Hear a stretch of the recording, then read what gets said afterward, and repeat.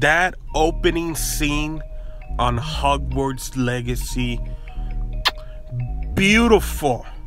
What's up, guys? It's your boy Hercules, and well, we're back at it again. And I said it, it was gonna be probably my last Hogwarts video that I was gonna make, but to be very honest, this game is great. This game is fantastic. And I've only played, I want to say, an hour into it. Because, well, I got work. I got, I still got work. So, but, whoa, this, this was just amazing.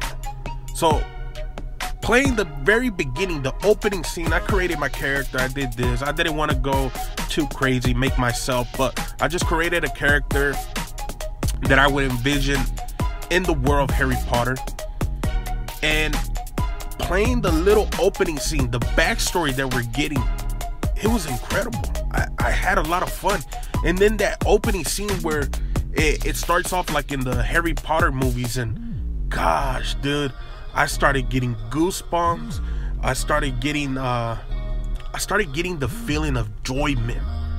Because look, I'm not the biggest Harry Potter fan out there. I know a little bit of Harry Potter here and there. I know a little bit of the the story. But this this brought it back. This made it incredible. This made me want to watch the movies that as soon as I turned off the game, I put the movie on. I put the first Harry Potter and I started watching it. And dude, it feels incredible. One thing I can say is that if the losers, the cast losers, the losers, the cast, don't want to return to the world of Harry Potter because of the uh, trans community, you don't need them. This story, just a little bit that I played, this story guarantees you can make more stories out of the wizard world. You can go back in time. You can go into the future. You can do whatever you want. It doesn't just have to be Harry Potter, the only character. It could be of anybody else. You can make, hell, you can take this story and make it into an actual movie and then just continue for a hundred years or whatever years you want to continue for it. The beginning was incredible, and I can only expect it to either be the same or get better. And I still haven't even gotten to be able to explore everything. The gameplay is awesome, the acting's pretty good, the story is awesome. But we'll see what happens once we get down. I might do another video after I put in 10 hours and I get halfway to the story. I'll do another video of my 10 hour impression. But first hour impression, whew, it's incredible, guys.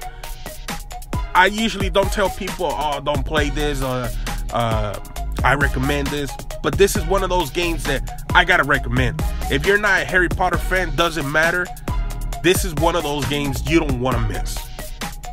Either you wait until it's on sale or you get it right now because you want to play something right now until something else. And I've been making videos talking about could this game be game of the year or get nominated for game of the year?